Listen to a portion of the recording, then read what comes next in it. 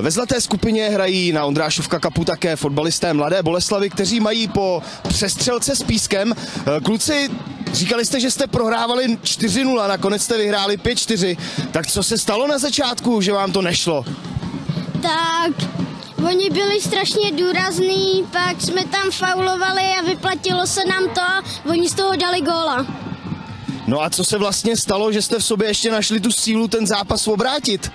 Protože jsme bojovali a bojovali. Dával, kdo dával góly v tom zápase? Řeknete nám jak? Já jsem uh, dával góla na uh, 5-4, golman špatně rozehrál a já jsem to, já jsem golmana jako přeloboval. Já dával, že golman špatně rozehrál a já dával plačírou do šibenice. Já jsem dal, um, Denis vystřelil tam ten, vystřelil do golmana, ono se to odrazilo ke mně, já jsem to dal do, do prázdné brány, dal jsem gol. Ještě někdo dával během turnaje nějaký opravdu povedený gol? Um, že... Uh, uh, já už nevím. Dobře. Já prodávám do prázdné spůlky, že golman vyjede a vystřelím.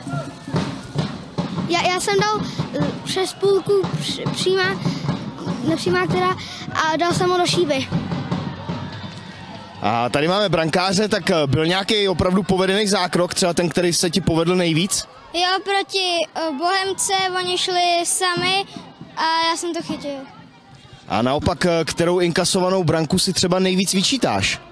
tak teď proti písku hned na 1-0. My, já jsem on vystřelil, já jsem tam skočila, vyrazil jsem si to tam.